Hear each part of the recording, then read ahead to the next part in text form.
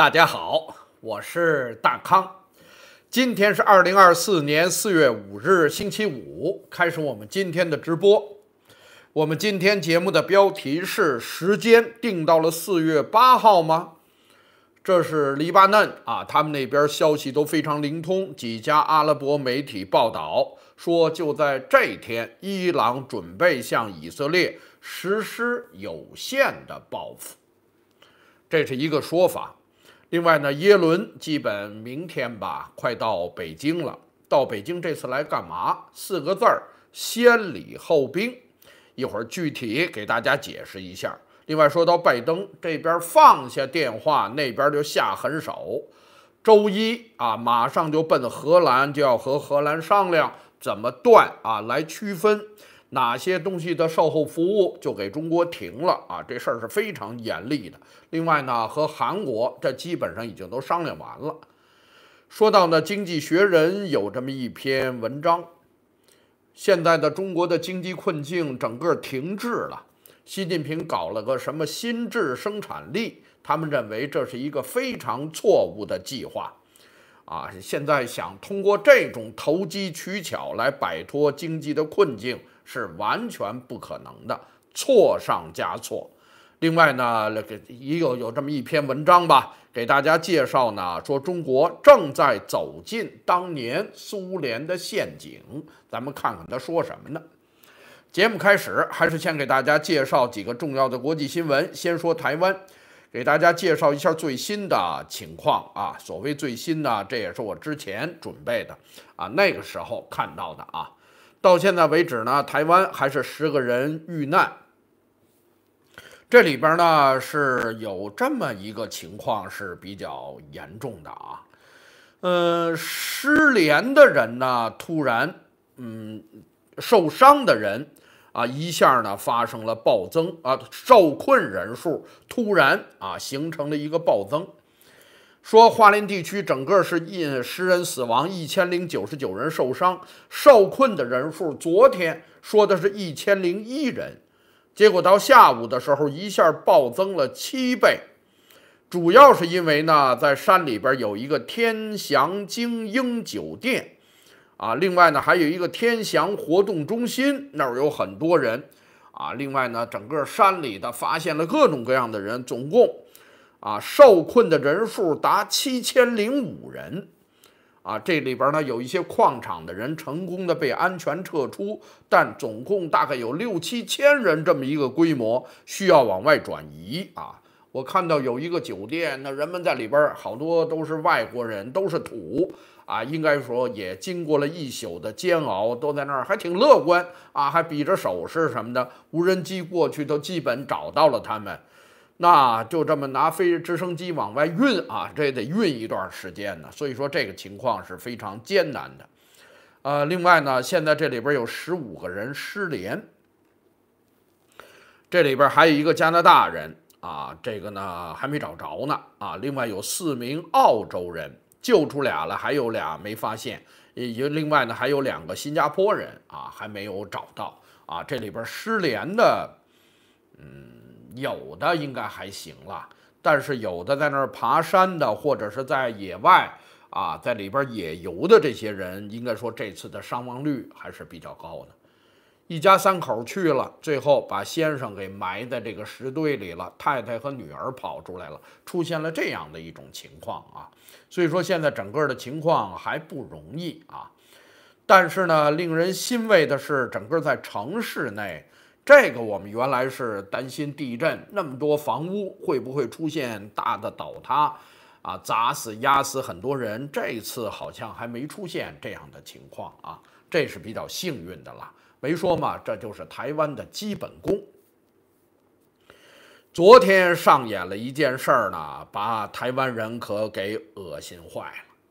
在联合国呢发言的时候，中国驻联合国的副代表耿爽啊，这大家都熟悉，原来就是国务院发言人嘛，在那儿发言的时候呢，竟然代替台湾感谢国际社会对台湾的关怀。这里边那些啊，那就别说了，那里边说的那些话啊，他大言不惭的代表台湾，我替台湾谢了。凭什么呀？你是谁呀？你这是怎么回事啊？我看有很多台湾人呢，基本用八个字啊来形容他：寡廉鲜耻，令人作呕。基本就这八个字。哎，咱们也就不骂他了。嗨，这这他他他他这么恶心，这个我们大家心里都是有数的。但没想到无下限，恶心到这种地步，这个也是令人发指啊！这个是太有意思了。呃，另外呢，说到日本，日本呢，昨天我们讲说到日本啊，很多艺人呐，很多新闻人都已经开始动员起来，准备给台湾募捐。当然呢，这里边也取决于台湾受灾的惨烈的情况。如果情况特别严重，那募捐肯定是铺天盖地。呃，如果现在看有点轻拿轻放的意思，那募捐也这风风火火的展开了，很多艺人都带头搞啊。呃，不到一天的时间，三万两千六百多人就参与，总金额已经将近九千万日元。嗯，大概多少钱呢？四百多万人民币吧，大概是这么一个状态，还在继续。另外还有另另外的两个基金也在开始同时募捐啊，那个数据他们还没有掌握啊。应该说呢，这个募捐包括一些饮用水啊、食物啊、药品啊等等，包括一些帐篷，很多的救援物资，这日本政府还没出手呢。我估计这一两天啊。他得根据你台湾，你大概需要一些什么，人家马上就会来帮助。所以说，日本这次也是真够意思。很多人都讲说，日本人就直接在下边留言，这次轮到我们了，什么意思？前一阵儿那不是地震呐，或者是啊这个日本赶上的时候，那么多台湾的弟兄拼命的捐款帮助，现在呢，哎，这次轮到我们来回馈，来帮助台湾了。说到下一条呢，现在很多媒体都对台湾这次的表现予以了高度的评价。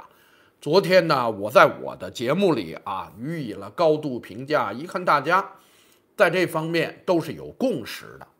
我看有媒体呢认为台湾它这种建筑，你别看有一些老旧，但还是有严格的规范的。是拥有世界级地震观测体系，同时呢，看到民众的表现，应该说呢，非常普及的推行了地震安全的公众教育、建筑观测。另外呢，民众这三条都是硬指标，认为台湾这次做的都令人赞赏啊，令很多人都感到非常的惊讶。有在台湾的一位朋友讲呢，说这次啊。令人感受最强烈的，就是台湾展现出来的一种韧性以及良好的民众的素质。说到这次大地震以后，和民生密切相关的水电气、地铁、公交，基本都没有中断。说到台积电啊，大伙儿一看这要震动世界的呀，要耽误大事儿的呀，哎，转天人家就恢复到了七八成，问题基本不大了。没有严重的影响世界经济，在台北，它震感也比较强烈嘛。一开始的时候，它的捷运啊各方面是有一段时间的停止，导致你说早晨八点多钟嘛，导致大批上班的人堵在捷运站、堵在公交车站啊，上不了车，走不了。但是呢，有很多人在现场拍，人们就在那儿默默的等待。没有人吵闹啊，在那儿啊，为什么在那儿闹啊什么的等等，没有，大家都非常耐心的在那儿等着，然后呢打电话呀，包括这查一些资讯呐，大伙儿呢也保持了一种非常高水准的礼让，有时候你们挤嘛，互相碰着，大家呢也都非常的谦让，非常的礼让，所以说这个呢表现出来的这种状态。啊，这个文明水准应该是令人赞叹的啊！所以说这次台湾无论是各个方面都表示出了表现出了一种水准。另外说到中国方面的一些反应呢，我刚才看了一下啊，我大概两三个小时刷的时候，整个五十条微博关于台湾地震一条都没有了。现在呢，我看跑出一条来说政治化受伤，这是唯一的一个和台湾还有点关系的。我现在点开我看看他说什么呢？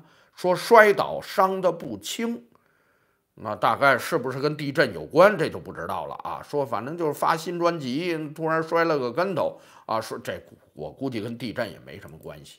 所以说呢，作为微博，我不知道是不是台湾民众已经不再关心了，还是中共呢把这所有的东西都封控了，不让大家关心了。那这个具体情况我不知道啊。但是你看到的所谓的热搜已经消失了。呃，当然呢，中共官媒也讲，他们封了一些在里边幸灾乐祸的一些账号啊。说到这次呢。一个日本，一个台湾啊，这加上如果再有美国的话，这就齐了啊！你说到当时火车出轨，有一些化学品怎么怎么样，嚯，在中国引起了一片沸腾啊！他这他他太高太欢乐了，呃基本就是这么个状态啊！这个我们大家都知道。但这次呢，总体上大面还凑合了，但这里边呢发生了一个趣闻。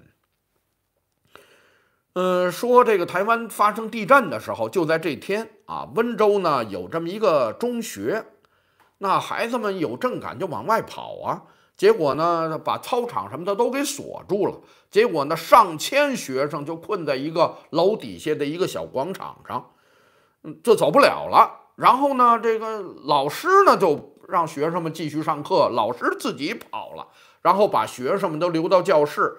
呃，结果学生们一看，那得往楼下跑，大家就跑到这个小地方，在这儿挤着啊，发生了踩踏事件，有同学摔倒，有的呢受了一点轻伤。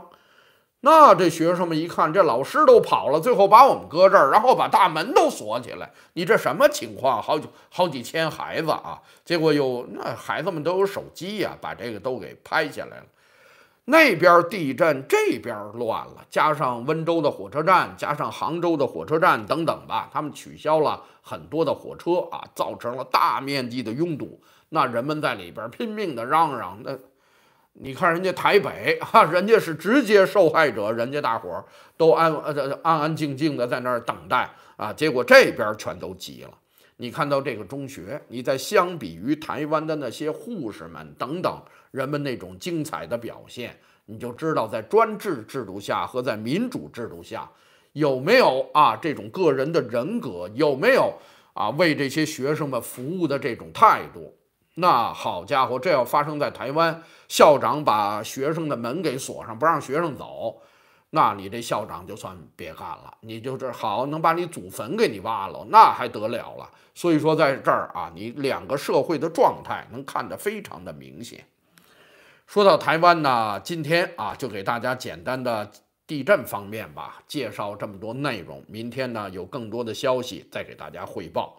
重点说一说马英九，说说国民党。马英九呢参加了黄帝陵的祭拜活动，那不是献完花吗？啊，最后呢人家注意了一下，结果发现他的这个花篮摆在了省委书记的后面。这个让人是有些百感交集。说到当年连战，那见了胡锦涛以后，所到之处他也祭祖去啊！啊家伙，连爷爷呀，怎么怎么着，到哪儿那地方好小狗子似的跟着他，那那个伺候，真当国家领导人啊！但不对呀，马英九比连战的级别高啊！连战当初是副总统啊，是前副总统，马英九是两任的前总统啊。这这的情况能一样吗？所以说呢，你能看得出来啊。这次呢，尽管是习近平钦点马英九到这儿来，然后呢，下礼拜到北京啊，大概呢，这个要要，那叫什么呢？这这这叫叫会见吧，也不能叫会见，召见啊，召见马英九。但是呢，底下的地方领导还是比较怠慢的，整个中共这边说白了，真没拿他当回事儿。说到过去，中共是非常讲究座次、讲究这种排名的。那马英九过去和习近平算平起平坐，怎么也应该排在你省委书记的面前呀。所以说到这儿呢，人家基本就真拿你当前省长了。所以说呢，那离连战那是远远的不如。现在这么看，整个的待遇连洪秀柱都不如。洪秀柱原来是国民党党主席呀，所以说这马英九啊四个字儿情何以堪呢？但是呢，因为马英九这个起到了带动的作用，现在国民党高层掀起了一个大陆潮。我综合了一下，有这个媒体给统计啊，郝龙斌四月十一号上河南，那儿有皇帝故居，参加一个祭祖大典。四月十一号，五月份王金平去山西五台山，去文殊文殊菩萨的道场，到那儿去参拜。然后五月份，李乾隆也去山西参加神农大帝的祭拜。然后之后是洪秀柱去杭州出席海峡两岸论坛。嚯，这帮人不够他们忙的啊！一波一波的往那儿跑。那你国民党老这样，这玩意儿让人一看，这也不是那么回事儿啊。结果那个大忙人儿啊，那个最啊在里边起沟通作用的国民党的副主席夏立言被招到美国去了。到美国干嘛呢？让他去参加美日台三边二轨兵推，参加这么一次兵推的演习。来吧，你来看看来吧。那夏立言是个什么人？难道美国和日本不知道吗？那当然知道了。但那就是个啊，跟中共两边啊这暗通款曲的一个主要的联络管道。那为什么把他叫来呢？有专家分析呢，大概美日有这么几个目的。你来参加一下兵推，我们也给你展现一下实力，让国民党也让你们这些啊卖台的这帮人看看美日联盟的强大。我们是真管，在兵推里边，美日肯定要下场要参战的嘛。啊，我也让你看看那是个什么景象啊，来展现我们打败中共侵台的决心。这是让你看看实力。另外呢，当然让你白看啊。蒋干道书，你得去当那个传声筒，你得把你看到的我们要干嘛，我们这美日联军有多么的强大，你得告诉国民党，同时也告诉对边的对面的中共，不要轻举妄动，你弄不过我们啊！这个呢，专门我把底都透给你。然后当然啊，这你看完了以后，同时也要告诉国民党，在立法院对。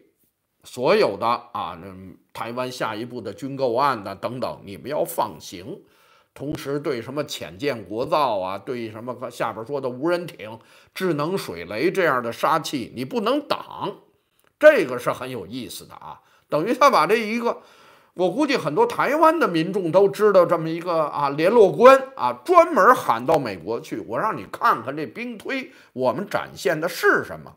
这个可是非常厉害的啊。所以我想这一点呢，呃，这这这以前是没有想到的。来吧，咱们说说日本。日本气象厅表示呢，在四号，他们也发生了六点零级的地震。后来我看有那个视频，晃的也挺厉害的。但是呢，他们因为震源比较深啊，震源深度是四十公里，所以说没有发海啸的预警，也没有发布任何人员伤亡的报告。但是在东京是有震感的。这最近就这嘎达地方啊，就不知道是怎么了啊。这块儿呢，今年是不太平啊。这儿震完了那儿震，这怎么回事儿啊？所以说，看样这事儿还没完了。另外呢，一个新闻，美国的副国务卿坎贝尔啊，现在是国务院的二号人物了。说到岸田下周访美，和拜登呢将历史性的升级两国的安全关系。呃，这里边包括共同开发国防物资。他还透露，这里边是一个重要的内容，也就是原来那个美英澳三国搞的奥库斯集团，下边可能会吸引更吸纳更多的印太的伙伴。下一个主要的一个目标就是日本，就是希望日本加入到奥库斯集团，以后就不是三国了，就正式是四国了。那日本愿意不愿意？日本当然愿意。可是这里边的问题是什么？是美日本国内的宪法。奥库斯这已经是很明显的一个军事组织了。那日本来加入这样的一个军事组织，大概在国内是有一些问题的。但是现在美国啊，这三国已经张开怀抱，来吧，我们需要你。现在到这么一个地步了啊。另外呢，说到日经亚洲，也是援引了一个美国政府消息人士的报道，两边呢，拜登和岸田在访问的时候要把两国的国防工业要拼在一块儿，要专门进行一个全面的合作。现在呢，就光给美军修修船啊，做一些船只啊各方面的维护不行了啊！以后未来为什么历史性的提高两国关系，共同的生产弹药、生产飞机、生产舰船，两边全面的合作？有专家认为呢，对美国来说，在日本生产弹药，岸田要在多少个岛搞多少个弹药库啊？好像搞一百五十个，我忘了啊，搞多少个这样的弹药库，他就要在那儿存着，那直接就在日本生产，然后你就直接在那儿存储呃存储。为什么呢？因为现在美军是不可能在日本生产这么多东西的，都得从其他地方运过来。那现在很多东西，现在乌克兰也用，现在以色列也要啊，它这数是不够的。那怎么办？整个日本在这儿生产这场未来战争所需的所有的弹药，这为谁？就是为了中国。我不能舍近求远，把所有的东西都运到日本来，然后在这儿储存，你就就地生产吧。为什么这些东西就打算在这儿用？这个可厉害了，这个啊，这个可是对日本的一个重大升级。不但是赢得了未来战争的时间，同时从全方位武装日本，这个日本这次可来了一个大松绑，这个可是不得了的一件事儿啊！也就是说，未来如果习近平在所谓的二零二七年去攻击台湾的话，那他面临的将是美日台韩菲等联军的联合的反击，而且弹药就日本做的，这就是现成的。到那时候，真的是可能让习近平的舰队血染台湾海峡，整个的东海舰队、南海舰队以及东部沿海的空军和导弹基地，也可能全部给你干掉。所以说，这个是非常可怕的。加上这奥库斯啊，这海底下这些潜艇、这些东西、这些打击力量，所以说呢，现在整个人家布的这个大盘，如果把日本给放成这样，那日本已经没有任何的限制了，这是非常凶猛的。说到岸田呢，最近我们老夸他，也得到了日本在那儿我们有一些观众朋友们的认同啊。他认为呢，岸田确实是有点静水深流、有点深不可测的这么个人物啊。这个你看着他好像不吭不哈，但这个人在底下下手还真是挺狠的。结果最终的消息呢，那那党内啊，通过这个吃饭啊，这个参会，然后呢募款。完成了任务以后还富裕，那怎么办？大伙儿自己就拿起来了。说到这个，那就是贪污啊！你这个等于没报账，没走明账。呃，这个呢，在什么安倍派呀，什么二阶派呀，好几好好几波人啊，都犯了这样的问题。那管还是不管？嚯，岸田一下昨天处分了相关议员三十九人，一下把安倍派在众院参院方面的一把手严古立。世耕弘成等等，做出了劝退的处分，你退党吧，自民党不要你了。另外呢，把这个安倍派下属的下村和西村，这西村原来还是内阁的一个大臣呢，停党职一年，就是不要你，就是党员资格停一年。另外，高木义这原来也是众将啊，也停止党员资格六个月。另外，把二阶派的总务长啊也给停了一年。所以说，这家伙这一下，这不是一般的开闸，下手是真狠啊！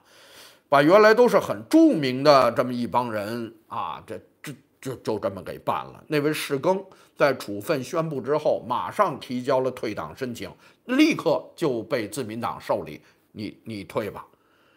哇，这下等于原来安倍派的五个大将基本就都歇菜了。哇，这家伙这岸田啊，你别看他不动啊，这这这成天小眼迷糊的，但你看着他挺和善那么个人，真急眼了。这一动手，那就叫连根拔起，这还是真凶啊。咱们简单看看日本的股市，今天可是出了大事儿了。现在的日本股市一口气跌了将近一千点。九现在是跌了九百八，跌了二点四六，现在整个全是一片绿啊。这个美国好像是稍微 涨了点，那就基本平啊。然后呢是上证什么的，大伙儿一块儿都在跌，恒生什么的全都在跌。日经怎么了？日本发生什么事儿了？也不是因为这事儿，它因为什么事儿呢？所以说这个啊，跟我们之后讲的这场中东可能战事要扩大，是不是有关系？这都是绑在一块儿的啊！一会儿呢，这网页我留着啊，咱们一会儿看看今天能跌到哪儿去。现在已经跌了将近一千点了，这家伙是出了大事儿了。另外说到呢，这个这是谁定啊？《纽约时报》啊，他搞了这么一个民调，这是由美国商业信息咨询公司 Morning Consult。叫早间咨询啊，这么一家呢，他定和《纽约时报》联合搞的这么一个民调，他调的什么呢？就是西方现在的国家领导人中，谁的不满意率最高，不受欢迎度最高啊？他呢搞了这么一个排名，这不是什么光荣榜啊。结果呢，大家猜啊，西方的这几大国现在最不受欢迎的人是谁？那毫无疑问就是舒尔茨。那马克龙最近表现的这可以啊，那马克龙小马成绩是不是好一点儿？倒数第二啊，舒尔茨呢不受欢迎程度是百分之七十三，马克龙呢是百分之七十一。另外呢，这个这是所谓的西方国家了，呃，尹锡悦也排在里边，是百分之七十。然后岸田和英国首相苏纳克俩人打了个平手，都是百分之六十六。那加拿大土豆呢？土豆还可以了。土豆呢，它的不受欢迎程度是百分之五十九，和这几位相比，土豆还算不错的。那老拜登呢？老拜登的不满意的受访者的比例是百分之五十四。那有好点的没有？就是。不满意度没过半，那就说明满意的比不满意的多。这里边调了半天，只有比利时首相啊，叫德克罗啊，他还可以，他只有百分之四十六，那说明满意的应该还是占多数的啊。为什么这么不满意呢？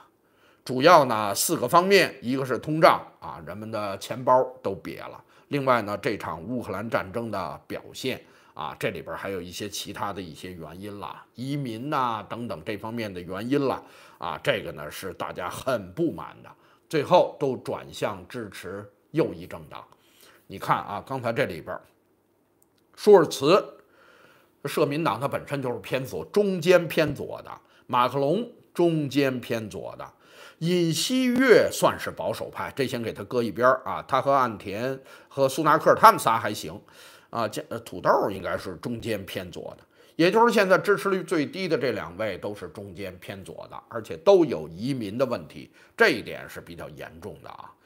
呃，当然，只要有大选，我估计情况就好不了哪儿去了。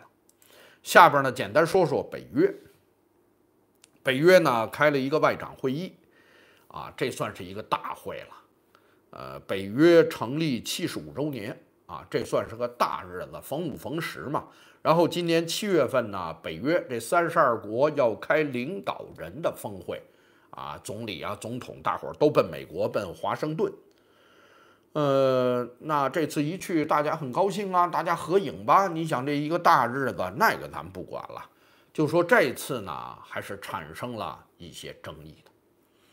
本来开这次外长会的时候呢，有很多人提议，大概提了。三件事儿，啊，要在这次的外长会议上要讨论。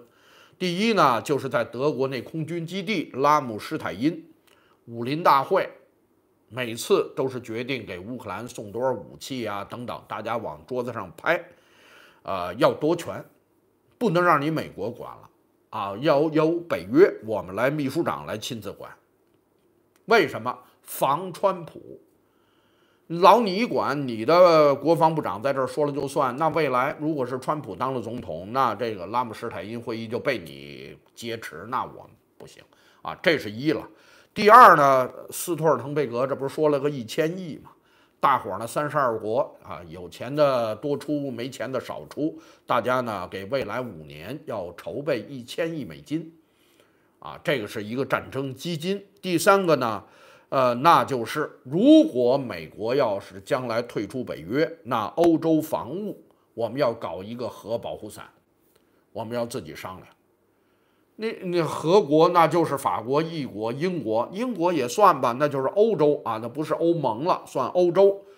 那德国没核呀，那法国就得保着德国，英国就得照顾着德国。那没有美国的话，我们自己得想办法。这是本来大家讨论的、提出的这么几个问题。那开完了这个北约外长会，最后的结果呢？这帮人啊，也弄不清楚谁是老大了。你们要造反呐！美国呢，在这里边做出了表态。首先，第一，沙利文直接讲。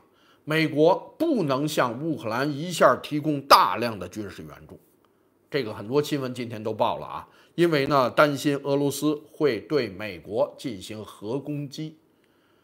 我突然把什么三百公里大炸弹，然后把 F 十六什么的这些东西都扔出去，最后那战争一下量变到质变，那时候谁也好不了。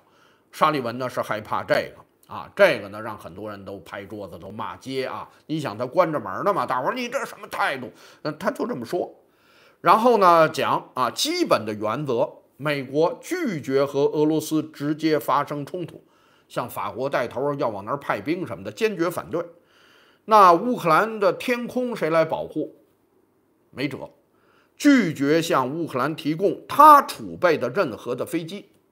那现在 F 十六那都是荷兰的，那都是丹麦的，大伙儿给的，他自己的他不给啊。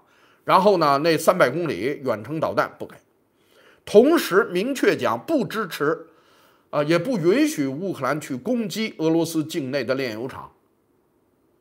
就那天布林肯在法国在那说了这段话以后，现在到现在是两天了吧？还真没有，这两天乌克兰还真没动。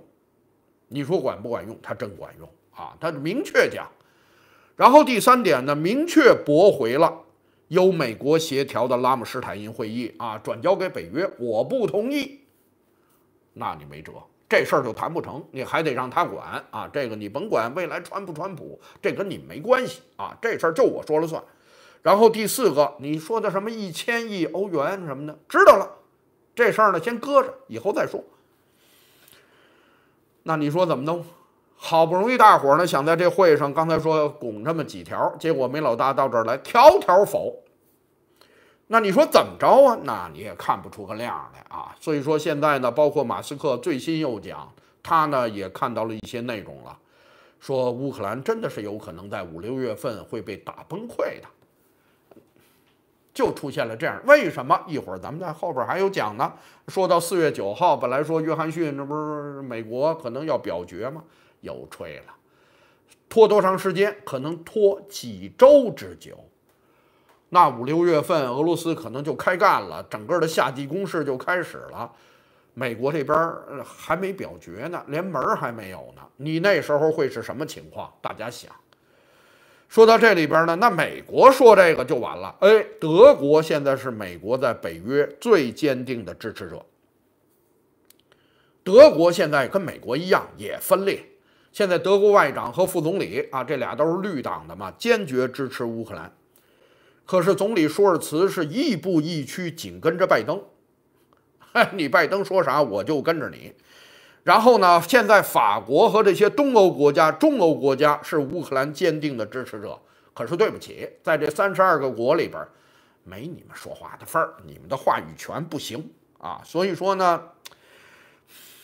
这北约会议开了半天啊，基本上给大家总结就是这么一个情况啊。这个呢，反正 情况不是特别乐观了。来吧，说说美国，咱们还得说说川普啊。川普呢，在佛州棕榈城，他搞的这个募款活动取得了巨大的成功。到现在为止呢，统计已经到了四千三百万美元。前两天那仨老哥仨弄了多少？两千六百万吧。川普弄了四千三啊，所以说呢，共和党保守派的金主，他们有钱人是多的嘛，开始给钱了啊。这你不给钱也不行，因为他已经完成了初选，共和党的候选人就是他了。那所以说你不给他给谁？另外呢，那个有一些草根民众啊，这里边的激情还是在的啊。这里边一下给到了这么高呃，让川普士气大振啊，这个呢是有的啊。另外呢，这边是好事儿，但是那边呢，川普是遭到了一些小的挫折。川普试图撤销三个刑事案件的请求，都被不同的法官所拒绝了。呃，你比如说关于封口费这个，昨天讲了啊，这个呢，我我有总统豁免权呀，能不能拒绝审理？最后被法院拒绝，这个昨天说了。然后说到这个富尔顿县，你比如说说到干预人家大选，乔治亚州的这个县啊，呃，这个案子是非常致命的一个案子。川普的律师呢，以言论自由为由，就说这个呢，那我川普跟那个周武清聊几句，我就干涉大选了。我只是说了说，对不对？我我没具体干什么呀？啊，这我以这个为由，能不能取消这个案件，也被法官斯科特给驳回了。另外呢，还向南佛罗里达州啊，有一个法官呢提出那个文件门。说这文件都是我自己解密了，都是我私人财产，这事儿能不能这个就别审了，终止这个机密文件的案件？结果也被那个勘顿法官啊，这还是他自己任命的那位女法官给驳回了。所以说呢，到现在为止，这三个案子啊，当然还要等着最高法院的那个总统豁免权的最终的一个说法。但现在川普在这几个分支里的努力啊，都失败了，这个呢，哪个也没搞成。说说川普的股票，我看今天到什么程度了？还在跌啊！今天呢是跌了百分之五点四五。现在呢，昨天说到那天是五十一，昨天四十九，今天跌到了四十六点一五，跌了两个多美金啊！这个呢，我们会一直盯着它啊，这还在跌，为什么呢？说到整个这股票和原来那个皮包公司的合并啊，这个呢是出了一些问题。在整个的并购案中传出了内线的交易，在里边参与的两个男士啊，这已经正式认罪了。这里边什么诈骗罪啊，等等等等啊，应该说传出了一些负面的新闻。股票跌跟这个有没有关系？这个我不知道啊，这个咱们不不是太了解，也就不特别说它了。呃，这两天呢，各大媒体都在报《华尔街日报》的这个民调，这个民调是很厉害。川普呢是遭到了一些小的挫折啊，那凑那五个多亿啊等等啊，这个那凑了一点七五亿，好像还出了问题。这一点七五亿，法官可能审了审，一看这有毛病啊，可能还不太愿不太接啊，你还得再想办法。这事儿呢，咱们按下不表。但是最近的这个挫折中，而且拜登那边呢，你看人家搞了个国情咨文，呃，大伙儿反应也不错，此消彼长。好像在这七个摇摆州里边有点拉平了，但《华尔街日报》这是一个比较中间偏右的这么一个报纸了。他呢最后做出的一个民调讲，川普在七个摇摆中的六个都领先拜登，特别是年轻人和少数族裔对拜登的支持率下降，这都本来是民主党的基本盘，这个是很厉害的啊，等于呢六个州。赢，然后呢，一个州平，川普呢是占据了优势的啊，呃，但是在这七个州里边呢，这个我看啊，在这七个州中，拜登是赢得了百分之六十八的黑人选民，四十八的西班牙裔和百分之五十的三十岁以下的选民，这和以前已经差很多了啊，这和以前已经差很多了。说说这在这几个州啊，把这个刷一下啊。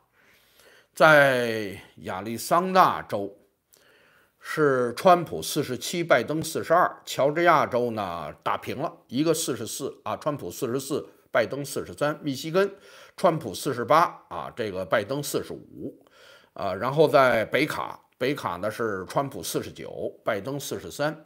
内华达，拜川普四十八，拜登四十四啊。在宾州呢是川普四十七啊，拜登四十四。然后在威斯康辛，两个都是百分之四十四、四十六拉平了。呃，当然它这个栏目是很多，项目是很多了。我说几个大的项目，那为什么会出现这样的问题呢？说到经济这一大块，两边的比较，川普的得分是百分之五十四，拜登是百分之三十四，差两成，这是很厉害的啊。这个是很厉害的。说到移民问题和边境的安全问题，那川普得分是百分之五十二，拜登只有百分之三十二，又差两成，这一下就拉开了。当然呢，你要说到堕胎啊，那这个肯定拜登赢啊。拜登的得分是百分之四十五，川普是三十三，嚯，这保守人士还是很多的啊。另外说到，那作为一个总统，你的身体情况和你的精神状态。啊，谁认为比较胜任呢？啊，两边的得分，川普是川普是四十八，拜登的得分是二十八。大家注意，又是个两场，嚯，这东西是够厉害的啊，这东西是够猛的。所以说呢，这个华尔街今天的这个它很长了啊啊，这个呢得到了普遍性的转载，这个影响是很大的。说到美国国会，这约翰逊刚才讲了啊。再次推迟了乌克兰援助的投票。原来说四月九号，现在已经明确讲，彭博的报道啊啊，美国国会不会在这一天就援助乌克兰进行表决投票了。它整个的这个文件的审议被推迟了几周，你这就要了命了。也就是在俄罗斯的夏季攻势开始之前，美国是不会把自己的武器送到乌克兰了。来不及了，根本就不可能了啊！现在这情况就这么严重，那你约翰逊这么干行不行啊？惹恼了一个人，这就是中情局的局长伯恩斯。他在前天向约翰逊提交了一个关于武器短缺对乌克兰战争影响的机密情报。当然，这还什么机密情报啊？这不是《经济学人》对原来那个乌克兰军队的高官，包括马斯克这些人，他们都有不同渠道来得到一些现场的真实情况。如果这样的话，就崩溃了。你你这玩意儿，你又给推迟了几周。当时伯恩斯拿着这个情报就警告约翰逊说：“如果俄罗斯因为美国放弃支持乌克兰而赢得战争的话，历史将严厉地审判他。”对约翰逊进行了严厉的警告，但是约翰逊还是做出了刚才那个决定，一点办法也没有啊。所以说这个呢不是什么好消息啊。另外有一个好消息呢，那个用猪肾移植到人体的那个手术最后呢成功啊。六十二岁的那位黑人患者呢，一个老爷们儿啊，还挺壮实的啊，最后出院了。说到这个猪身上取下来的肾是经过基因编辑，它去除了一些猪的有害的基因，加入了一些人的基因，降低了排异性。结果呢，本来这个六十二岁的这位病人呢，本来还有糖尿病啊、高血压，还有很多的这种综合症啊。这个五年前受过肾脏的移植，最后好像不怎么管用。结果呢，在麻省这个医院接受了这次的器官移植。现在看一切正常，那全世界都在盯着这哥们儿啊！如果他未来一切就没事儿了，好人一样，哇，这对全世界来说，比刚才所说的所有这些鸡吵鹅斗的事儿都有意义啊！这可是全世界的一个大福音了。哎呦，找肾呐，找特别是啊，这各方面匹配的这个太难了，这个名单又无比的长啊！如果这个就能解决的话，那就行了啊！那朱二哥卖卖力气，这个我认为全世界啊，这是一个大的福音。来吧，说说以色列和伊朗吧。种种迹象表明，一场有限规模的报复就要上演了。呃，先说第一个点啊，我总结了十个点。有消息报道说，中情局发出了开战四十八小时倒计时的警告。什么时候这个开始的？说到以色列当地时间四月三号下午五点，以色列媒体呢，他们做了一些消息的报告，说中情局向以色列传递了情报，明确警告以色列，伊朗可能会在四十八小时内对以色列境内的目标发起打击。四月三号下午五点，现在已经四月五号了。所以说，你说这东西呢？我查了查美国方面的新闻，要这么大的事儿，那 CIA 公开示警，那美国方面肯定也知道啊。可是看到美国的大媒体在各大网站的版面上重要的位置都没有这条报道。啊，在中文媒体，好家伙，大伙儿啊，山呼海啸的啊，马上就要开战了，兴奋不已。呃，没有啊，这个我在美国的方面没有找到，应该说只有在以色列个别的，有点像自媒体的这种状态有这么一个透露啊。所以说目前看，我认为这个消息并不准确。黎巴嫩媒体有一个叫阿尔梅亚迪恩啊，梅亚迪恩。这是一个有争议的一个媒体啊，原来在以色列境内也有这个媒体，后来被以色列给轰出去了，就跟前两天把半岛都给停了嘛。但是这个在阿拉伯世界，特别他在黎巴嫩，他和真主党什么的，他都比较了解情况，可以说这是一个在一线的阿拉伯媒体。他呢做了一个报道，说伊朗在四月八号进行那个打引号的立即报复。什么叫立即报复？这是哈梅内伊啊，伊朗最高领袖说的，啊，他用的引用的这个原话，这个行动就叫立即报复。呃，既然呢有这么一家正规的大媒体啊，有名有号的把这事儿给说了，结果这个消息是得到了阿拉伯世界一些正规媒体的转发，这个看起来我认为比前面那四十八小时可能性要更大一些，更可信一些啊，这是第一啊。说到第二，内塔尼亚胡就在几个小时前明确表示，正在准备与伊朗发生直接军事冲突。这是他办公室啊，他发出的这个消息。然后呢，是有一些话了，说内塔尼亚胡呢等于婉转承认了，是以色列轰炸了伊朗在大马士革的那个使馆的侧楼，导致十一个人死亡，这里边有三个啊伊斯兰革命卫队的将军。呃，内塔尼亚胡讲说，伊朗一直在直接或间接的通过代理人对以色列发动袭击，那以色列有权采取同样直接或间接的措施来反击伊朗。为什么要针对这个？这是战争的起因。那作为伊朗认为，我那是我使馆的一部分，尽管是出了政府画的那个圈儿，但是那是我租用的。啊，这是我租，就在我旁边嘛。我使用的一个房子，你给我炸了，你就炸我的外交使馆，那就是宣战行为，是你先弄的我，所以说我打你，我属于自卫反击啊，是这么一个合情合理。他要把这个师出有名要站在手里。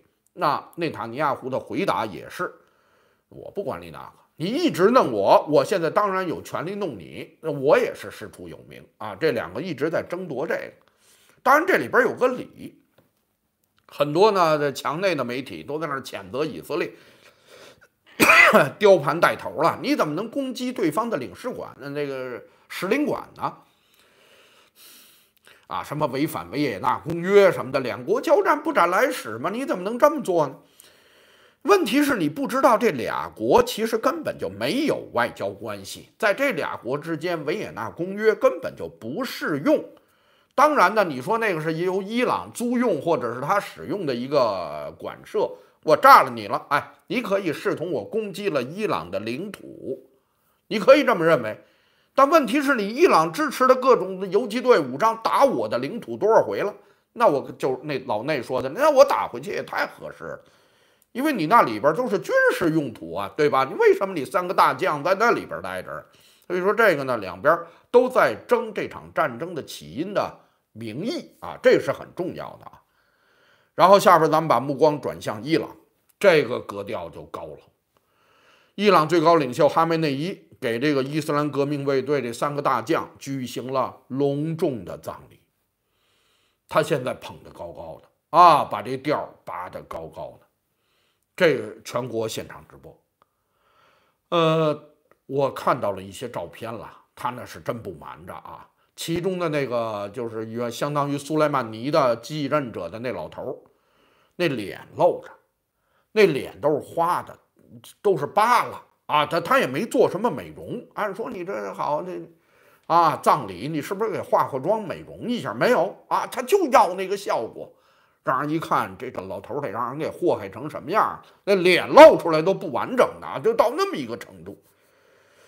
呃，这是群情激愤啊！这这，他得跟伊朗老百姓有个说法，他们自己也讲，从十月七号以来啊，以色列呢是逮谁跟谁来，就叙利亚这一块，已经有十八名伊朗革命卫队的指挥官和高级顾问，在叙利亚的基地或者是市区被斩首了，已经弄了十八个了。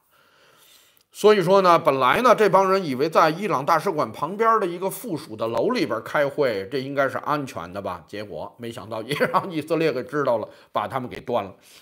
所以说这个呢，人家已经把这事儿抬得高高的了。你要不做些什么，这脸往哪儿搁？对内对外怎么交差？怎么怎么解释？这事儿呢，已经下不来台了。人家也是故意的啊。呃，有一个伊朗的高级官员向路透社透露，大家都关注我，那要怎么着啊？说德黑兰肯定被迫做出严肃的回击，以防止以色列重复此类的袭击。但是，这位高级官员对路透讲，报复的程度将是有限的，目的在于威慑。不会是全面的战争，可能会打一些目标来震慑你一下，以后你不能再这么干了啊！这是一个路透社的一个说法了啊。现在这是伊朗，那咱们再回到以色列，刚才是内塔尼亚胡说到下边，以色列空军严阵以待，这是他的发言人讲的，随时准备应对伊朗和他代理人的袭击。以色列国防部已经召回了空军预备役的军人，全部回到空军。空军现在需要人。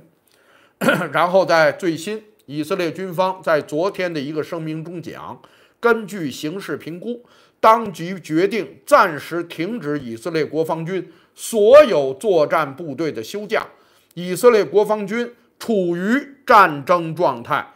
部队的部署将依据要求进行持续的评估，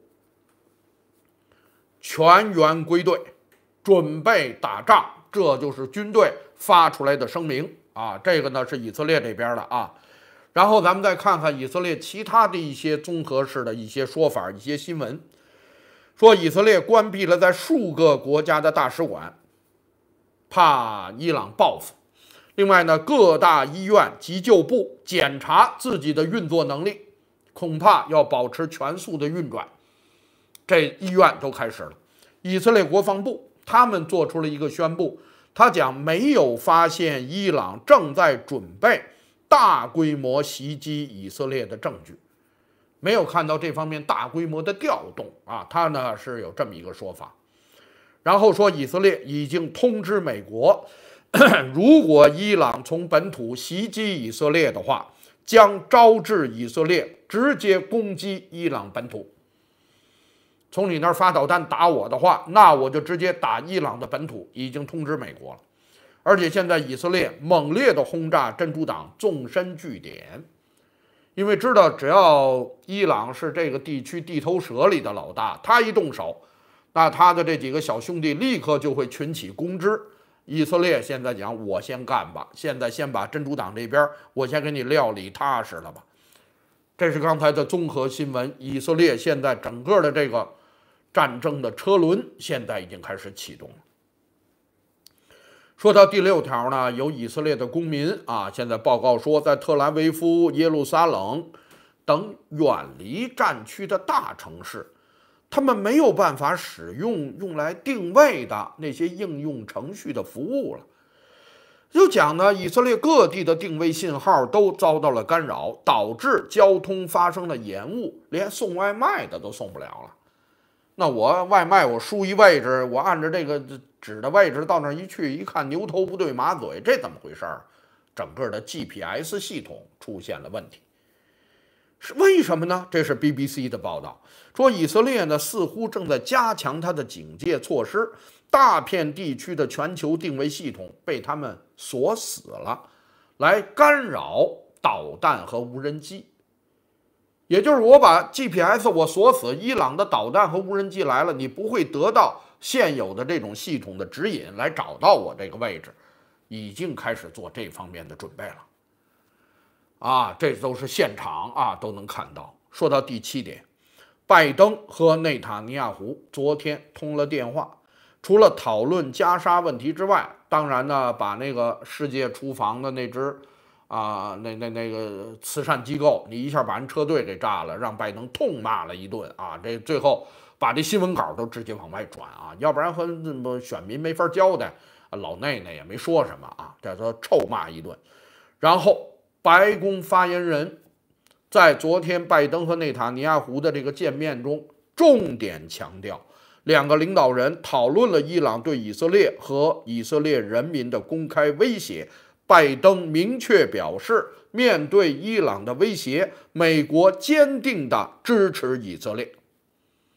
这个太得表啊！你不是打以色列，我美国我是跟他绑着的啊！这个是毫无疑问的。两边的首脑见面啊，这两边这个要重复一下。另外，美国紧急装备了一千五百件，这是什么意思？一个师的装备运到了一艘船上，叫查尔森号。然后这查尔森号立刻就离港，赶奔了以色列，一个师的完整的装备就拉跑了。这里边有坦克，有战车，那什么都有。嚯，这家伙那人还没去呢，家伙事儿已经到以色列了。所以说，已经开始为这场的啊攻击，已经开始在做最坏的准备了。说到第八点呢，就在伊朗前两天宣布展开他那个立即报复行动之后，结果伊朗在南部的两个军事基地突然遭到了武装袭击。四月四号的凌晨，在伊朗的东南部啊，有一个叫皮鲁支斯坦啊这么一个省啊，这里边向外界发出通报，他们这个省的下边有一个叫拉斯克市和恰巴哈尔市。两边的军事总部、军事基地遭到了武装攻击，打得还挺猛，结果导致三名伊朗士兵死亡。当然了，你说这事儿谁干的呢？是以色列干的吗？没有证据，哈哈，也没有人承认啊。反正这事儿呢，发动了猛烈的攻击，那有很多媒体不明所以。当然，这是一个小规模的一场冲突，一个攻击了。哦，伊朗内战开始了，这哪儿哎哪儿哪有什么内战呢？你听说死仨人的内战吗？哪有那么回事儿？但是呢，确实让伊朗这边一看，嗯，这里边还有牵制作用啊，这里边呃和整个的大局都是连着的。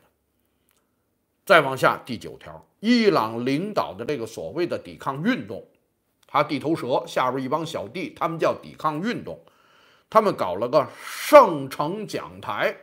啊，不定期的，大伙要在这儿聚一聚。昨天聚了，在聚的这里边，那具体说啥了，人家不告诉你了。然后呢，主要是说了一些虚头马脑的啊，登出来的都是一些虚头马脑的，有伊朗总统、黎巴嫩真主党的头、哈马斯的头，就那哈尼亚啊，然后呢，也门胡塞的头、伊拉克巴德尔组织的头，都表了决心。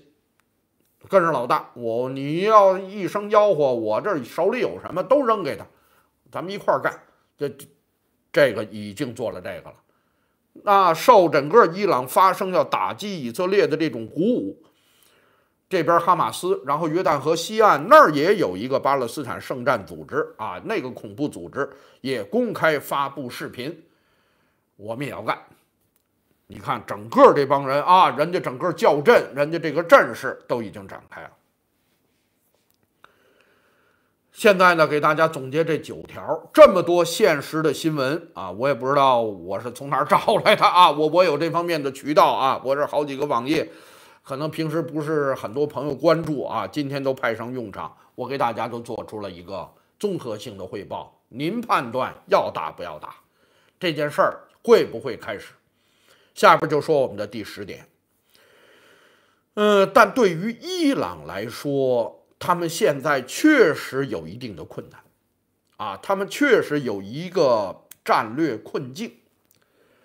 你现在把事情搞得这么高调啊，老百姓也游行了啊，然后葬礼也办了，最高领袖下边的总统什么的这一系列人，这个这这狠话也都说了，然后小弟的动员也都做了。那你没动静，这恐怕下不来台吧？他们是一定要进行报复的，但怎么报复就成了一个难题。从伊朗讲，肯定不愿意最后变成大打出手。好，你把以色列给着急了，F 三十五过来把你炸一乱七八糟，那你把你经济打回石器时代，他们也不愿意。本来伊朗内部就已经这个老百姓蠢蠢欲动，就不满了。你想这会儿打一乱七八糟，这这怎么弄啊？这个他肯定也不愿意了。所以说，在这两者之间，就导致他的报复的手段和范围就相当的狭窄，就不是那么特别容易。我看有外界媒体，包括路透啊这些媒体评价说，伊朗最有可能的报复呢，就是利用黎巴嫩真主党。啊，或者是叙利亚，或者是胡塞啊，用火箭或者是无人机去攻击以色列。大家注意，这东西都不是从伊朗本土出去的，东西是他给的，哎，打的是他的东西，但是呢，不是从我本土出去的，那你就不能攻击我的本土。可是大家想，如果要是出现这种情况，那你怎么体现这是伊朗做出的报复呢？胡塞武装、黎巴嫩真主党给人设点东西，这是来自伊朗吗？那是你最高领袖说的那叫立即报复的那个计行动计划吗？你这事儿对内对外怎么交代呀？怎么解释呢？我认为这个他有点说不清楚。但问题是，如果伊朗亲自下手，从本土直接用大号的导弹攻击以色列。就凭着以色列那有仇必报的暴脾气，那他一定会还击。刚才说了啊，他已经通知美国了，还击了。那时候伊朗要怎么办呢？你要不要升级？你一升级，你会招来更猛烈的还击。那你又怎么办呢？这个恶意螺旋就开始了。到这儿呢，综合总结啊，前两天当我对这场可能爆发的战争做出预警的时候，很多朋友在留言里边还不以为然。现在看，刚才说了啊，这事儿都举得高高的了，以色列已经把全体的啊休假的人都叫回来了，已经严阵以待了。看来这场战争已经是不可避免了，也可能是一个冲突，也可能会演变成一场小规模的战争。当然，现在我们不知道最后的程度会如何，但是大家一定要知道，战争的魔鬼一旦放出来，从瓶子里出来，他就不由着你了，人们就很难去控制他，再把他塞回去了。大家看，原来一战、二战的历史，原来谁也当初没想，事后打成那样，尸山血海，干好几千万人，谁也没想那样。都是想有限战争吓唬一下就得了，但最后一个个的身不由己，一步一步被拖进了这个深渊。谁也没想一开始那样。所以说这场战争啊，或者叫冲突，咱们重点关注就是黎巴嫩这家媒体报的四月八号。我认为今天今天还在他说那四十八小时内之内，我认为这可能性有点不大啊，这可能性有点不大。现在看，包括拜登和习近平那天的无预警通话，我认为还是坚持和这个事件是有关的，和这个事件是有关的。你想，四月一号夜里，伊朗最高委员会定的；四月二号的凌晨，天还没亮的时候，通知到了美国，我们要这么干。然后四月二号的晚上，啊，他和习近平进行了通话。啊，你不能告诉我这是巧合啊！所以说，四月八号真的是有可能再开一摊儿，再开战场吗？咱们一块儿拭目以待。这事儿还真够，真够危险的啊！这件事儿并不乐观啊。来吧，下边说说中美关系，说说耶伦到北京先礼后兵。耶伦呢，昨天到了广州，这马上就要到北京，重点解决中共中国的产能过剩的问题。具体说什么？中国的电动车电池、太阳能板，这中国这新三样啊，半导体以及其他制造的产品，正在向全球的市场进行倾销。很多产品的价格导致全球价格暴跌，对其他国家的这些厂商是毁灭性的打击。所以说这个呢不干了啊，等于耶伦这次来有点替欧洲说话的劲儿，不光是美国了，他对欧洲这边他的好像都有个承担。这次耶伦呢是有备而来，警告中国向世界倾销这个新三样，他说的是什么？你政府不能这么补贴啊！你在里边给他大量的补贴，然后呢，创造了这么一个庞大的过剩的产能，那全世界受不了。你不能给他补贴，我们不存在不处于一个平等的竞争的状态，所以说准备就这个呢向中国施压。耶伦呢这几天一直强调说，刚才说的这些问题严重的损害了美国的企业和工人。也伤害了世界各地的企业和工人。本来这三个新兴产业，你要这么干的话，那别人谁也别干了，咱不能这么玩啊，就是这个意思。那耶伦在广州的时候，有很多外国媒体就追着他问呢。那你在和中国副总理何立峰啊，这是管事儿的嘛，对口的，呃，会不会谈到征新关税的问题？啊，耶伦呢，昨天倒没说。不过呢，耶伦表示，拜登政府之前已经决议通过投资税收 来抵免发展美国在电动车、太阳能和其他清洁能源上边的供应链。什么意思？我要向你征高税，然后把这些高税补贴给我本国的电动车、太阳能和电池产业。呃，这个之前新闻我们报过啊。甚至呢，几大车厂给拜登提的计划，那个关税是百分之二十五。欧盟呢也认为这事儿是比较恰当的，他们也准备跟啊，一下这百分之二十五基本就拉平了啊。所以说这次来，他要求中国政府你必须采取行动，取消政府补贴等等这些东西，否则的话，美国将以高关税来保护自己。这次来就是先跟你说，跟你商量，先礼后兵，咱们先好好说，好好谈。不管用的话，那拜登的关税战就会开始，而且欧盟也一定会跟随。所以说，说到这个啊，这个就是谈一个具体的事宜啊。这里边说到前两天拜登和习近平谈的，实际上说来说去啊，重点一个是俄罗斯的问题，一个就是过剩产能的问题。那这次啊，过两天布林肯去说和俄罗斯的问题，啊，估计也没用。过两天拉夫罗夫去，然后普京就先来了，那你布林肯来不来的也不也不吃劲啊，那个不管用。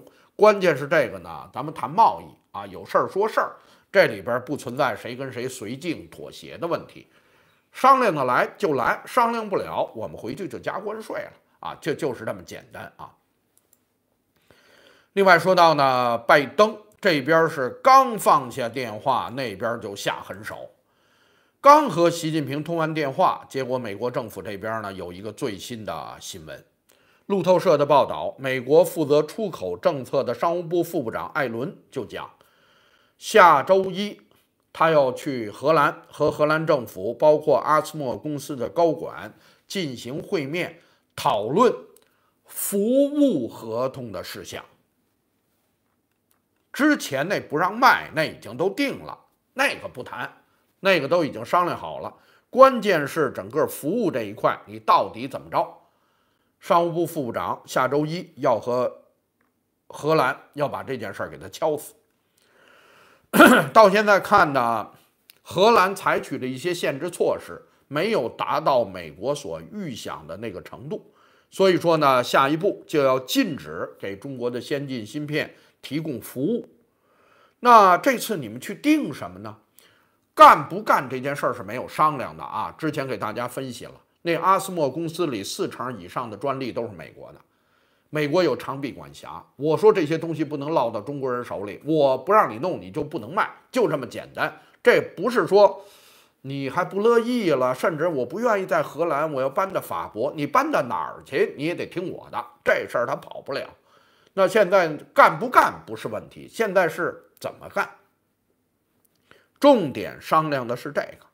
他讲呢，我们要确定哪些维修属于重要的，哪些售后服务、维修服务是不重要的。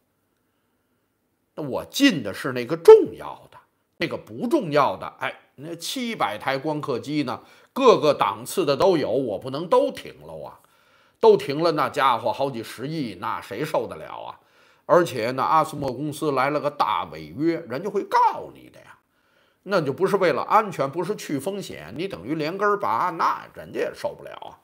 所以说，阿斯莫公司呢，哎，咱们俩商量一下，就上边这百分之二十或者是百分之十，你这事儿不能干，剩下的你该干嘛干嘛。哎，这次去就是定这个的。所以说别的呢，你就别想了，肯定干啊！这件事儿是没商量，关键是干哪块儿啊？这个呢，人家具体要拉个单子。所以说这个呢，你看那边刚放完电话，有用吗？一点用没有。大家别忘了啊，这个拜登当时习近平跟拜登就说两件事儿啊，是瞪了眼的，一个是台湾问题啊，我们一定不会听之任之；另外就是高科技封锁，我们一定不会坐视不管。这都是威胁性的语言，你看有用吗？一点用没有哈。另外呢，彭博社的消息。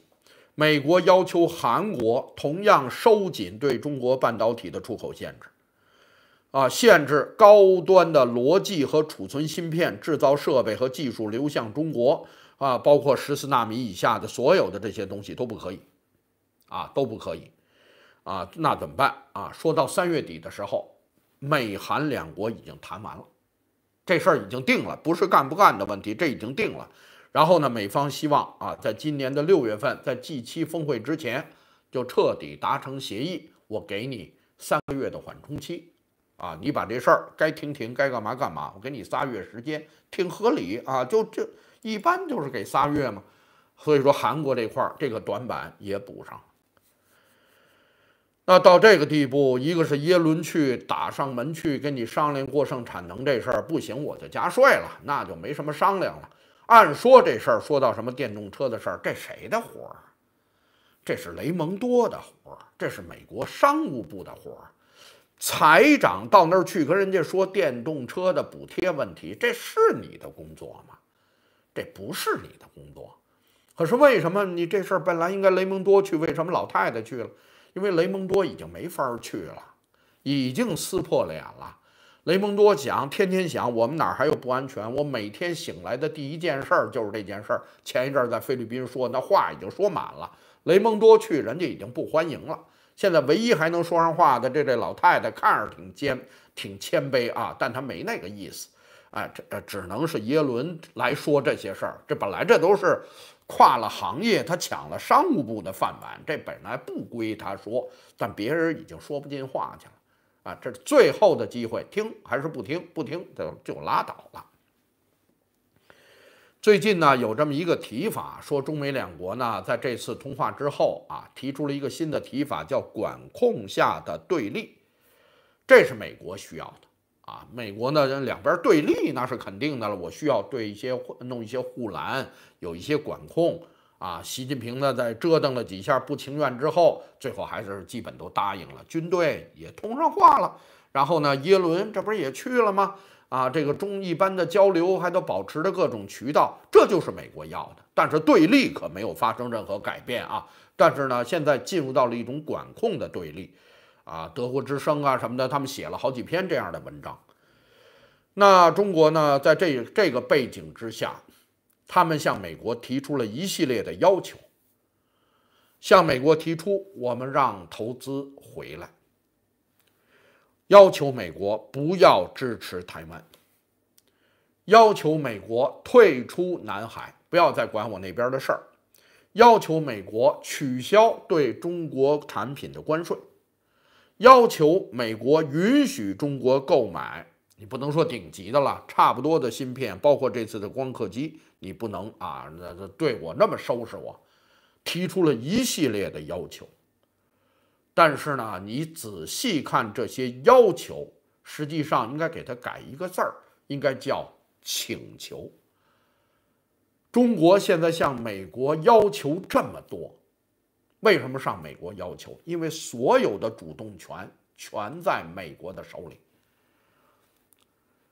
投资、台湾、南海、关税、芯片、高科技，所有这些东西，中国都在向美国要求。为什么？因为全在美国的手里。为什么现在只剩下了请求？因为美国不给的话，中国完全没有反制的手段。现在就到了这么一个地步。说到当年的冷战，美苏之间可不是这么一边倒碾压的态势啊！苏联是很厉害的呀，那美国可以说两边势均力敌，各有顾忌。可是你看到中国现在对美国提出了这么多的要求，为什么？因为都在美国那儿了，因为你还真没辙。在这种情况下，你是一个被摁在地上摩擦的一个状态。说到台海、南海，你都得要求人家，人家不走，你能怎么着啊？所以说，现在你手里已经没有牌了。他现在手里最大的牌一张叫俄罗斯，呃，另外叫不叫伊朗，这还单说着呢啊。一个俄罗斯，一个朝鲜，朝鲜还只能算半张牌，现在也不怎么听他的了。所以说，现在呢，基本上啊，就是乌克兰战争，这是应该说习近平唯一的存在的价值了啊，别的已经没有什么能拿住人家的了。现在是这么一个状态。来吧，咱们简单说说中国方面的新闻，说两个小新闻。有朋友给我来信说，有这么一个小孩儿眉清目秀的，说了几句实话，说我爸是农行的行长啊，我妈是副行长。然后呢，我长大了，我想继承我们家的家产。我爷爷原来就是行长，你看这一辈儿一辈儿，我长大了，我的梦想是这个啊。结果这个呢，在这个啊各个社交媒体呢，引起了广泛的传播。当然后来呢，人们觉得这样也不合适，把小孩呢给弄上马赛克了。呃，墙内呢，那农行他自己得查呀，这这这谁的孩子呀？啊，是可能是要处理啊，还是要怎么样吧？啊，是有这样的一个说法。我怎么评论呢？首先，小孩嘛，童言无忌啊，这个呢，作为批评这小孩或者什么，谴责这孩子，我认为这个这件事儿是毫无意义的啊。孩子呢，就是用他单纯的认知说了几句大实话而已了。说到这种的，我爷爷就是行长，我爸我妈还是行长，后来证明不是啊，他妈不是。然后我长大了，我要接我们家班儿啊，我要继承我们家家产。这种东西在中国的这种等级社会里边，难道不是一种普遍现象吗？说到孩子的这套说法。是由整个社会的文化和思维模式决定的，难道不是吗？像这样的孩子，你告诉我，中国有多少？难道不是都一样吗？这只不过这孩子说的呢，说他农行行长都是我们家财产，他是继承我们家家业。他说的这个比较，这个比较惊悚，比较好玩而已了。说到这是一种在中国国内的一种文化。这是一种普遍的思维模式。其实很多骂这孩子的人，实际上只不过自己没有这样的机会而已了，是有点吃不着葡萄啊，酸溜溜的那种感觉。其实这种现象是非常普遍的。那你说，在中国未来怎么解决这问题？要不然原来我们一直讲啊，只有什么基督教才能救中国。这整个原来从儒家不能叫儒家了，儒家原来有教无类啊什么的，人家原来还挺平等的呢。最后到了儒教啊，那个就变了。那个这这自从董仲舒他们之后，特别是清朝啊，那搞的那套礼礼教理学，那个就全都变了。整个的这套等级制度被共产党又强化了之后。你看看人家那高干病房，你看看人家过的什么日子，你看看在北戴河那个特定区域，人家那帮高干子女，人家享受的是什么待遇？那是国外的这些什么总理啊，什么什么什么总统啊，退休了以后连做梦都想不到的那种生活。在中国的这种特权阶层是非常明显的，大家呢都想往上蹦啊，能不能蹦到金字塔尖上，都想挤进这个阶层。所以说，怎么能连根拔除这个？必须要彻底荡涤这个文化，要用什么基督教上帝面前人人平等，要用等等这样的文化彻底洗涤这个社会，这个是非常可怕的。说到这个小孩儿啊，只不过说几句大实话而已了。所以说这个呢，你谴责小孩儿有什么意义？呃，说说另外的一个呢，有一点争议啊，这个清明节。很多人呢又去悼念李克强。我看我平时关注的蔡老师呢，他讲他说在合肥的庐阳区红星路啊，我们都知道那是故居嘛，说竟然来了有近三百万人去献花，最后呢地上一张垃圾纸片都没有。大家都很注意了。然后合肥的出租车司机，只要你去红星路的，都免费搭客。有很多花店的老板呢，成本价啊，白玫瑰啊、菊花儿什么的，这个就另外很多啊。这个超市的小老板们把各种矿泉水都摆在路边，大家自觉扫码，不扫码拿走也成啊。这这这这种的吧。呃，后来我对这件事我感到非常的震惊。三百万人是什么概念？你别说一百万人啊，当年的天安门广场。百万的，就是六四，这这这就是学运的时候啊，咱不能说六四了，六四是最后那天了。之前学运的时候有过几次百万瞬间，平时也就是几万人，一人一过万已经无边无沿了。百万人是什么状态？我估计很多人都没什么概念啊。嗯，就我记着有一次是四二六社论的转天之后啊，那边包括什么中央电视台赵忠祥他们一帮人都把那假发摘了，举着个横幅，一大帮人各方面啊，从长安街东西两侧，从这前门大街那边都往那广场走。当时走到那儿去，哇，那个有啊，那个可能是有的，几十万上百万的状态是有的。所以说这个，我认为我不知道谁给蔡老师的这个消息啊，三百万人去献花。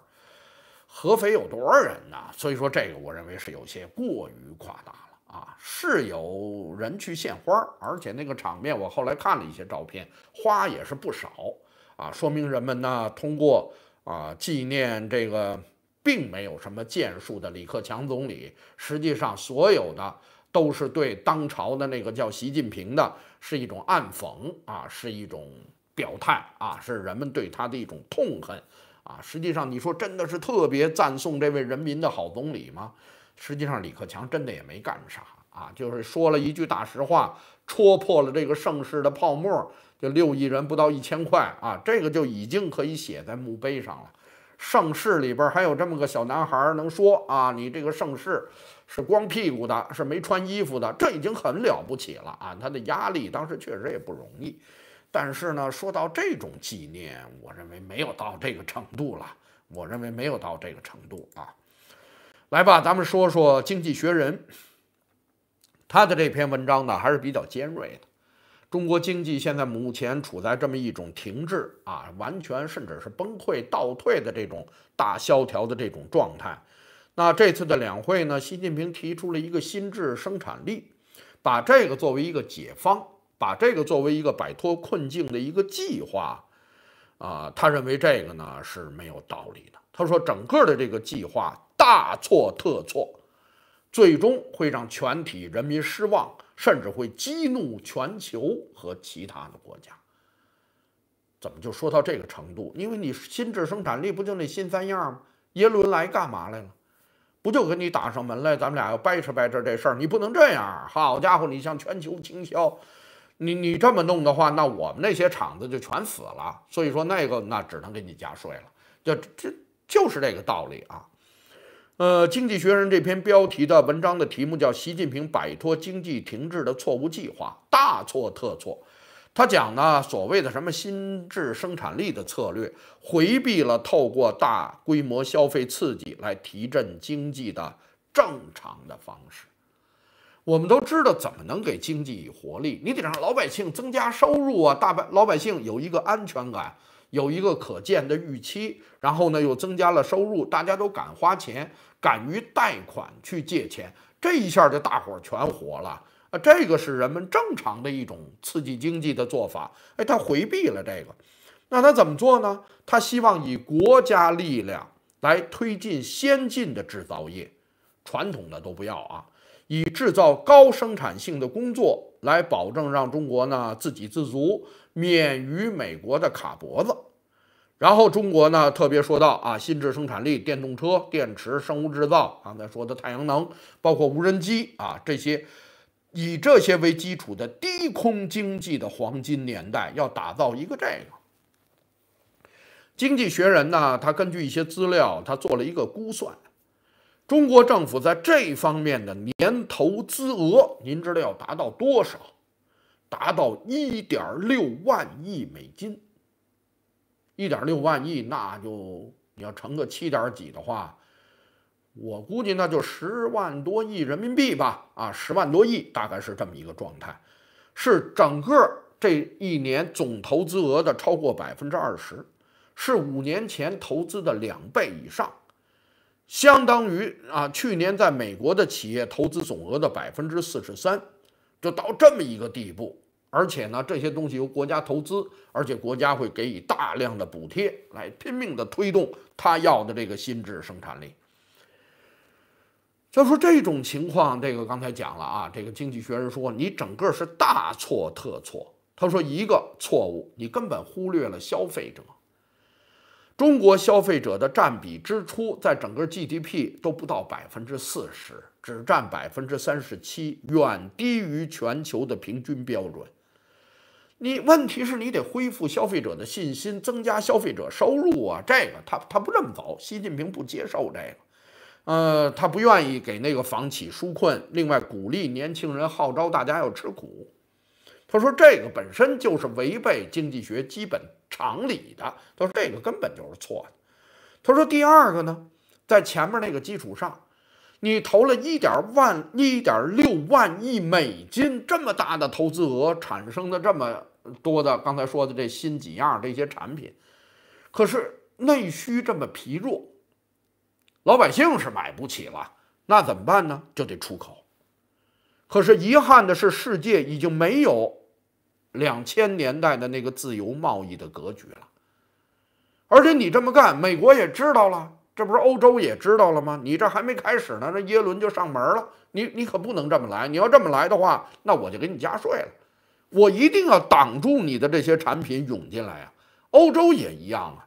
所以说呢，内销你你内销，你老百姓不给大家钱，买不起，然后指望着外销，外销刚才说了，人家大伙儿又不干，会导致全球的愤怒。你砸全世界的饭碗，那人家肯定是不答应了。所以说说你这个根本就没有前途，你造一些这玩意儿，就跟那弄一万亿，最后弄芯片，最后全白扔了。然后呢？一点六万亿美元来干这个，你最后你也是白扔，你也是瞎捣乱啊！另外呢，他讲有一个错误，就是习近平对企业家这种不友善的观点。现在呢，就基本上啊，这什么担心被逮捕、被整肃啊，这个呢，外商非常的警觉，资本外逃、富人外移，另外很多人呢，基本出现这么一种状态。他认为你现在搞的这个摆脱经济困境的计划错上加错，而且会最后取不到结果，最后让老百姓很失望、很愤怒。你最后还惹了众怒，全球各个国家都跟你急。所以说，这是《经济学人》说的这个，我认为说的是比较准确的啊。另外说到另外一篇文章呢，说到习近平正在走进美国的世纪战略布局中。他在重蹈当年苏联的覆辙，走进了当年苏联的那个陷阱。说的是什么呢？主要这两个坑，一个是军备竞赛，一个是人工智能。这个是当今世界的两大竞争主题，也就是两个大坑。现在中国的经济呢，现在肯定是坏了啊，要进入所谓的失落的十年，是不是十年？这都没人知道。关键是。习近平受中国强势崛起的中国梦的这种制约，放弃了韬光养晦，准备取代美国，然后被引入了那种军备竞赛、拖垮财政的这个陷阱。现在大力的投这个远洋海军啊，另外呢也仿效美国部署全球，到处弄军事基地啊，巨资投入太空的争霸，建航母、各种导弹等等，要和美国来寻求对抗。这里边呢，这个印太司令阿奎利诺将军在国会的作作证，他讲呢，就在过去这段时间，中国增加了四百多架顶级的这所谓的这种战机，二十多艘战舰，导弹的库存翻了一倍，核弹头二零二七达到七百，二零三五达到一千五百枚，所有这些费用是非常惊人的。这些刚才说的啊，这都是要花大钱的。他说啊，二零二四他的军费呢是增加七点几，算到美元是两千三百三十二亿啊美元，增加七点二。但是它的其他的那些隐含着的军费啊、民用、军民两用的那费用是非常惊人的。另外，刚才说到维稳，说到“一带一路”，特别是在南海，你以为南海那些小岛在那儿那么扔着，那儿有几百条船天天在那儿转悠，那都是要花大钱维护的。在海里那东西那是非常容易腐蚀，你得得靠大钱在那儿支撑，在那儿维护那些船，包括没事儿老跟台湾在那儿那么较劲。那你说了，那天说了，那天创造了一个今年三月份以来的最高啊，一下二十艘呃二十条那那那个二十架飞机越过中线，正好那天台湾地震，那你说那天是不是赶巧了？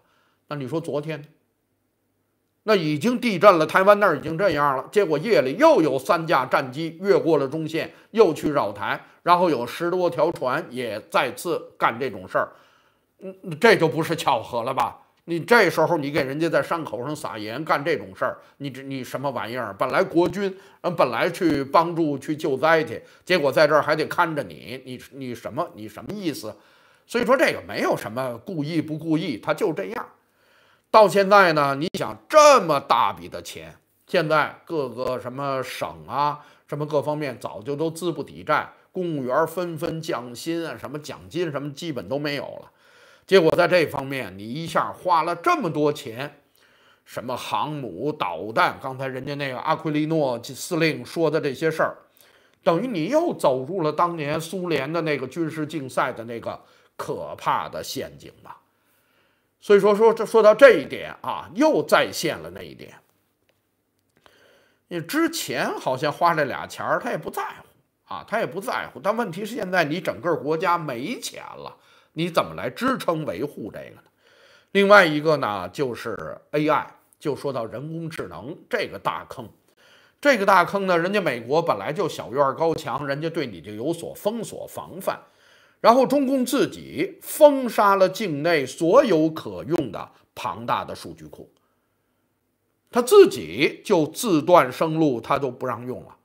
数据库不让用了，然后呢，现有的啊，人家那种 AI 各方面也不能得到批准，所以说也不让用了，等于它自我封锁，使中国的人工智能变成了世界孤岛。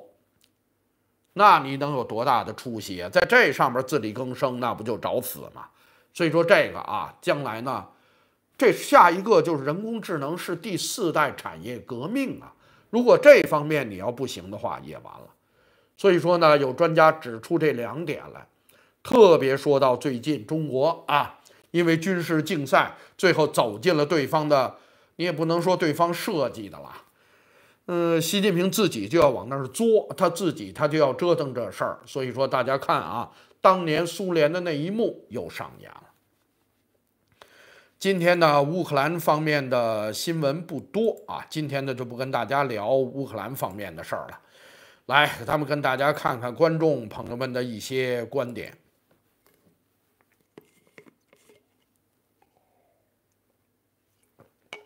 嚯，Poken，我们的老朋友，谢谢你啊！四月八号是日全食的日子，是大凶之兆，看来战争真的要恶化了。我怎么不知道这事儿？一会儿我查查啊，还有这事儿呢！好家伙，那是人家故意的吧？呃，不知道啊，这这够厉害的。归去来兮，说地震发生后的真实情况绝对不能让中国人看到。如果看到别人依旧安居乐业，没有想象中的凄凄惨惨一片混乱，这就是打脸了。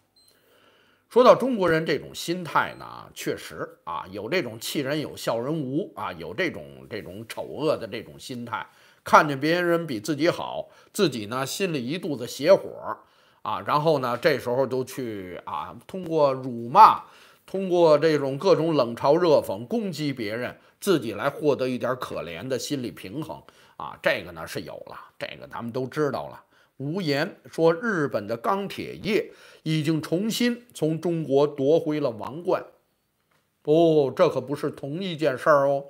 日本钢铁业夺回来了，韩国把造船业也夺回去了。